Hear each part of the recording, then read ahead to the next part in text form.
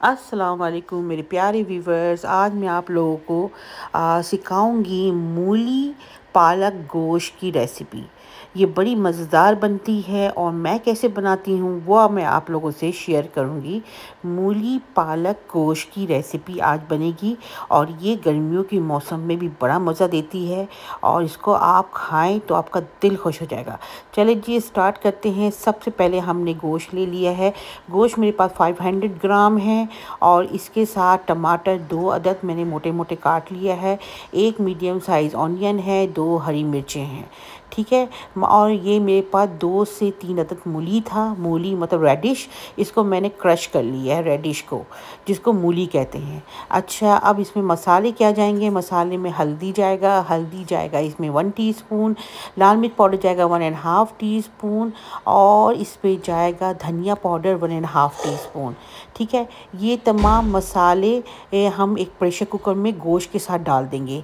प्याज, टमाटर, हल्दी, नमक वन टीस्पून और ये सब डाल के हमने थोड़ा सा ऑयल डालूँगी। मैं समझें आप लगभग ये वन फोर्थ कप ऑयल भी इसमें साथ में चला जाएगा।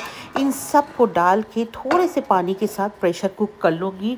और यहाँ पे हमारा मूली जो मैंने क्रश करके रखा है और इसमें पालक भी जाएगा।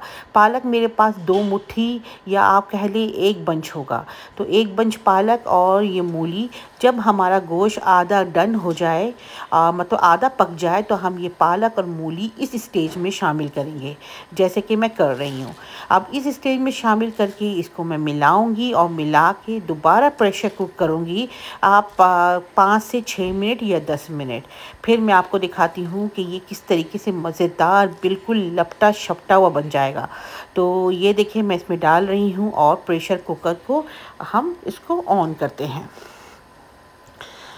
ये देखिए, हमने इसे मिला लिया अच्छी तरीके से, ऊपर नीचे कर लिया, गोश्त हमारा हाफ़ डन है।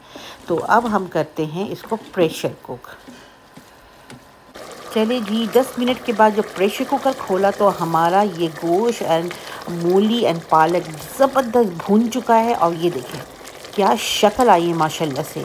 मज़ेदार, आपने ऐसे ही बनाना है गरम गरम चपाती के साथ खाएँ, चावलों के साथ खाएँ। इट्स अप टू यू बहुत ही मज़े की बनी है। ये देखें मैंने डिश आउट कर दिया है।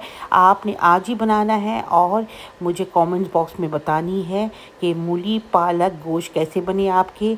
एंड इस वीडियो को आप ज़्यादा से ज़्यादा शेयर करें लाइक सब्सक्राइब एंड शेयर ज़रूर कीजिएगा। चलो इन फिर मिलेंगे दूसरी रेसिपी में। अल्लाह हाफिज़।